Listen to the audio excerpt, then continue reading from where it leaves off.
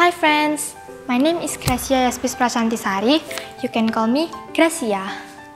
I'm 11 years old and I'm from GKJ Karanganyar.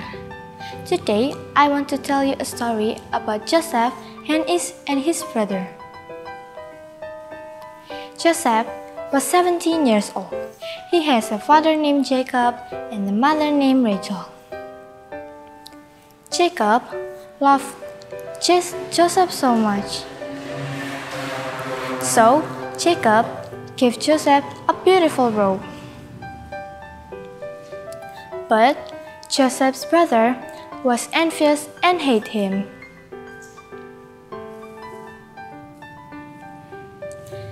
Joseph dreams of shifts his brother with sheaves around, and bowing down to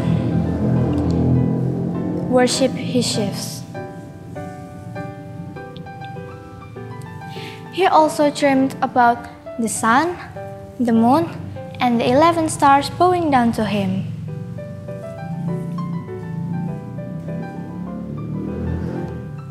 One day, Jacob told Joseph to see the situation of his brother.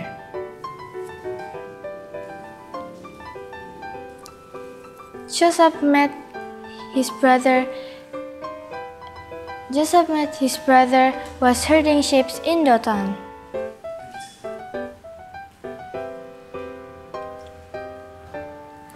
Suddenly, his brother got angry.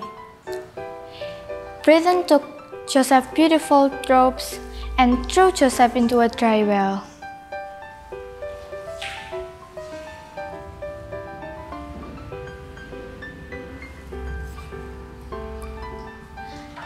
That they did may, may be known.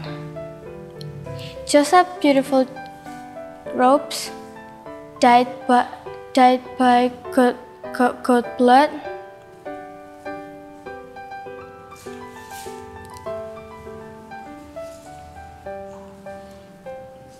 They say Joseph was died of wild animals.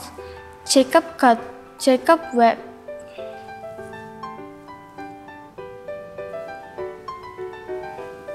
They sold Joseph to Midian merchants as slaves.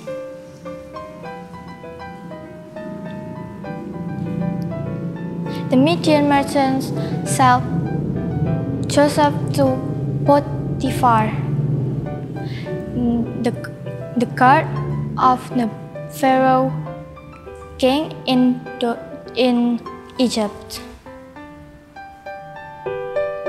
Okay friends, that's the story about Joseph. I hope you are blessed with this story. Thank you. Bye bye.